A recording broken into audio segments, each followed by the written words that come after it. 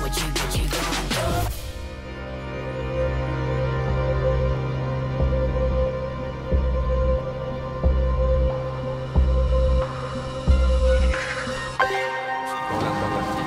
Ce soir, c'est que top là. Il n'y a, pas- y a pas de ce No, soir. no picture, please. No picture, please.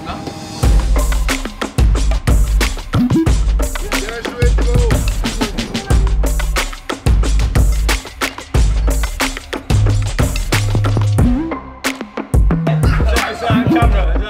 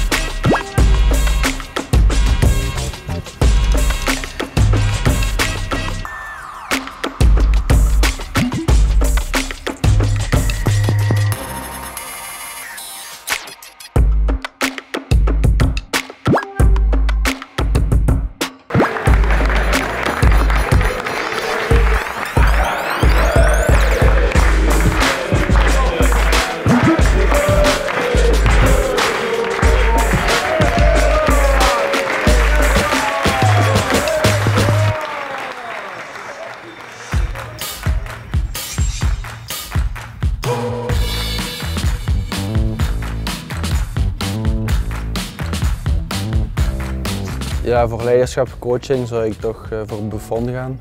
Ik denk dat dat wel iemand is die bij Juventus en Italië wel altijd eh, ja, dat leiderschap en dat charisma in hem heeft zitten. Dus ik zou daar toch eh, voor hem kiezen. De reflexen denk ik Iker Casillas. Denk op zijn lijn had hij echt fantastische reddingen en, en was dat voor mij denk een van de beste keepers eigenlijk qua reflexen wat ik me kan herinneren en ook waar ik naar opkeek.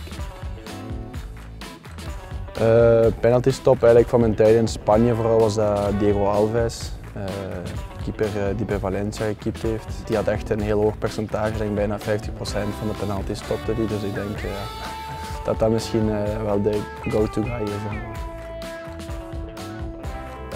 meevoetballen zou ik misschien, maar uit die term ver- versta ik meer dat je dus ook achter de verdediging die ruimte bespeelt en, zo. Denk dat daar Neuer eh, eh, wel sterk in is, die goed eh, die bal in de diepte kan anticiperen. Ik denk dat daar wel zo, voor mij de term meevoetballen is, eh, is dat wel. Ja. Traptechniek zou ik eh, voor Ter Stegen gaan. Ik denk dat hij op dit moment qua traptechniek toch ja, qua links en rechts, zeker Barça daar heel sterk in is.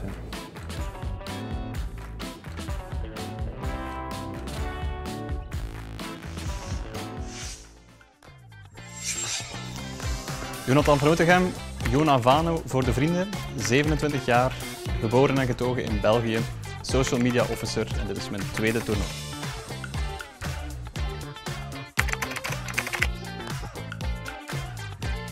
Mijn favoriete moment is als de securityman Oscar mij het Spaanse woord van de dag geeft, la palabra del día.